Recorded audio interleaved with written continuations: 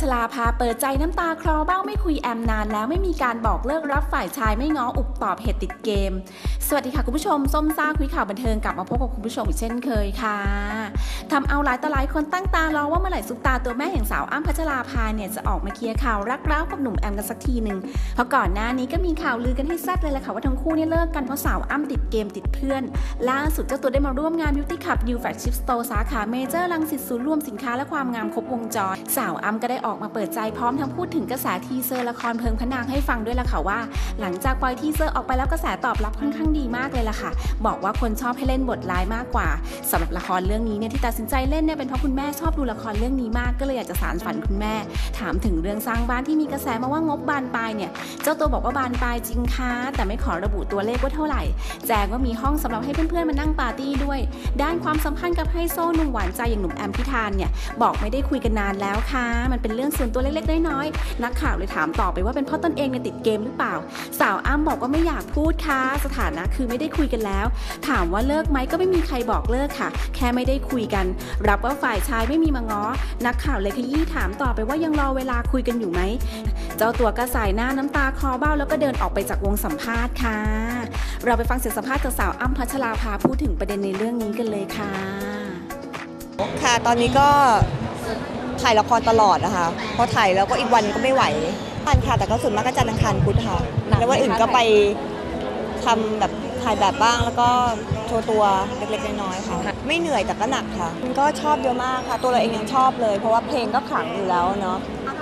หุยทั้งเรื่องเนี่ยสนุกทุกทุกตัวละครเลยไม่รู้ว่าจะบอกว่าใครสนุกกว่ายังไงนะคะ แต่ทุกคนไม่เหมือนกันเลยอะแล้วก็สนุกจริงเรื่องนี้ค่ะแต่ละคนบอกว่าแม่กลับมาแล้วจริงแม่แม่อยู่ไม่ไปไหน จะได้ชมเมื่อไหร่เอ่ยนะแม่อ้ำเอ่ออีกสักพักหนึ่งค่ะ เพราะว่า ตอนค่อนข้างจะยาว 24 ตอนเต็มอะค่ะก็จะใช้เวลานานหน่อยไม่ตื่นเต้นขนาดนั้น แต่ก็พยายามตั้งใจให้มันดีขึ้นไปเรื่อยๆอะค่ะ เพราะอันต้องเล่นบทแม่ด้วย เพราะฉะนั้นพอพูดบทแม่อะเสียงอันต้องเปลี่ยนไปคืออันต้องพยายามทำให้มันแตกต่างนิดนึงนอกจากการแต่งหน้าแล้วอย่างเงี้ยก็ดีใจนะคะแต่ไม่เข้าใจเหมือนกันว่าคนชอบให้อั้มเล่นบทร้ายเนาะคือจริง ๆ เรื่องเพลิงพระนางเป็นเรื่องที่คุณแม่อั้มชอบมาตั้งแต่ ตั้งนานแล้วนะคะ แล้วก็สานฝันคุณแม่ด้วย ตัวเองก็อยากนั่งเสลี่ยงก็เลยคิดว่าเออร้ายอย่างเนี้ยแหละ เราชอบอย่างเงี้ยคือเรื่องนี้ร้ายมีเหตุผลค่ะ เพราะเหตุผลโดนการโดนแย่งบัลลังก์ไป แย่งทุกสิ่งทุกอย่างไปจากตัวนี้ก็ไม่ได้ไลฟ์แบบกรีดกราร์ดค่ะทุกคนร้ายคนละแบบเลยค่ะ แล้วตัวเองชอบไหมคะกับการเล่นบทร้าย ชอบจะถามเหนื่อยไหมเหนื่อยต้องคุมโทนเสียงของตัวเองให้ดีค่ะ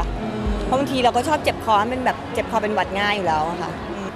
โหยากทั้งคู่อะไม่รู้จะบอกว่ายากไง จริง ๆ บทตลกยากสุด มีบทร้ายไหนไหมคะที่อยากจะเล่นนี่แบบแบบไหนร้ายแบบไหน ร้ายแบบพิการไม่ต้องพูดอะจำบทไม่ได้ จริงมันก็จะเสร็จแล้วแต่มันก็ไม่เสร็จสักทีค่ะ คือมันไม่มีอะไรได้ดังใจเราเลยอะ บานปลายมันต้องแก้ บานปลายไหมคะบ้านหลังนี้ บานมากค่ะ เกินงบที่เราหึ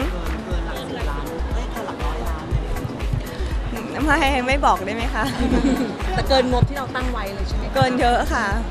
ไม่ไม่อลังการค่ะ เพราะอ้ำคนเล่นเกมมันก็ชอบให้เพื่อนมาอยู่ กันเยอะๆแล้วก็นั่งเบียดๆอะไรกันอย่างเงี้ยค่ะ ก็จะเป็นห้องเดิมๆเนี่ย